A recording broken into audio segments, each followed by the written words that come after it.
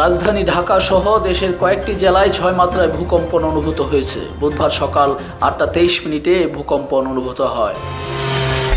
চিকিৎসার জন্য রাজধানীর এভার কেয়ার হাসপাতালে ভর্তি হয়েছেন বিএনপির চেয়ারপারসন খালেদা জিয়া। মঙ্গলবার মধ্যরাতে দলটির মহাসচিব এই কথা জানান। ঢাকার গুলশানের একটি ফ্ল্যাটে লাশ উদ্ধার কলেজ ছাত্রী মোসারাত জাহান মুনিয়াকে কুমিল্লায় তার মা বাবার পাশে দাফন করা হয়েছে।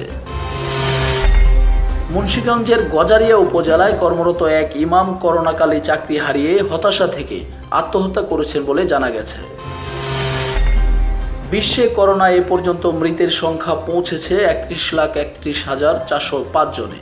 বুধবার সকাল নয়টা পর্যন্ত পাওয়া সর্বশেষ এ তথ্য জানা যায়। রিয়াল মাদ্রিদের মাঠে এক এক ড্র, কোথায় চেলসির আনন্দ হওয়ার কথা সেখানে চ্যাম্পিয়ন্স লিগের প্রথম সেমিফাইনালের পর আক্ষেপে পড়ছেন দলটির কোচ থমাস টুখেল। দেশের জনপ্রিয় মডেল অভিনেত্রী মেহজাবিন চৌধুরীকে ভ্যাকসিন চ্যাম্পিয়ন হিসেবে অভিহিত করেছে জাতিসংঘের শিশু উন্নয়ন ও নিরাপত্তা সংক্রান্ত বিশেষ সংস্থা ইউনিসেফ।